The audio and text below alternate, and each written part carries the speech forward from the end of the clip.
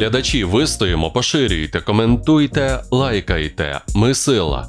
У Ростовській області в аеропорті Мілерово за непідтвердженою інформацією знову пролунав вибух при загрузці БК до Су-30 СМ. Офіційну інформацію не підтверджують, але мешканці міста почули добрячих два, як то кажуть, хлопки. Нагадаємо, що вранці 25 лютого нібито снаряд із України потрапив на територію військового аеродрому в Мілеровому, де базуються винищувачі Су-30 СМ, Су-25 та гелікоптери. Тоді було знищено декілька льотних машин та БК до них. Що ж, хлопки на Росії це тепер справа регулярна. У Росії за останні кілька тижнів почастішали випадки вибухів та пожеж на різних об'єктах, особливо у прикордонних з Україною областях. Загалом таких інцидентів налічується понад 35. Журналісти газети Daily Mail навіть склали карту пожеж та основних хлопків. Так у російських змі називають вибухи у Росії. Декілька інцидентів було в російському Білгороді та області. Зокрема, 1 квітня вибух та пожежа сталася на нафтобазі Роснефті. Наприкінці квітня в області, в районі села Стара Нелідівка, сталася пожежа на складі боєприпасів.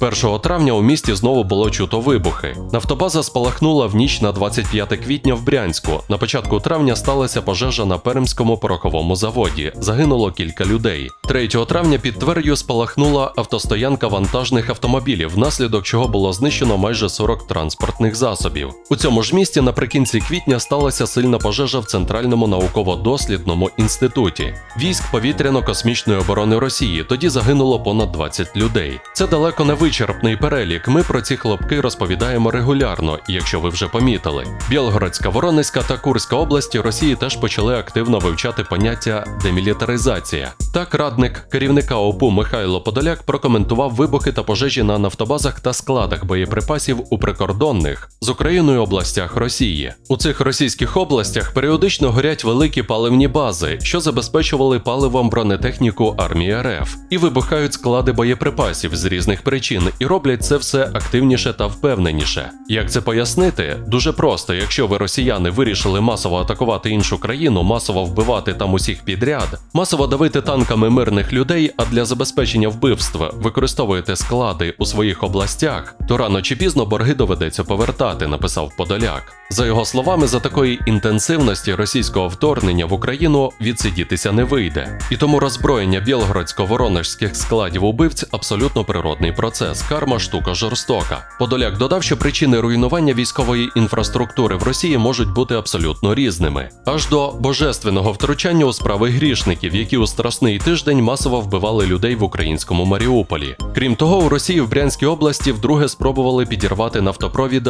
Дружба. Невідомі встановили три саморобні вибухові пристрої, проте підрив не вдався. Поки під час першої спроби рано вранці 11 червня, недалеко від селища Гулівка, в 40 кілометрах до кордону з Україною прогриміли три вибухи. Тоді ж спрацював сигнал про втрату зв'язку із засувкою трубопроводу. За попередніми даними, це були безоболонкові вибухові пристрої. До зустрічі, глядачі, вистоїмо, поширюйте, коментуйте, лайкайте. Ми сила.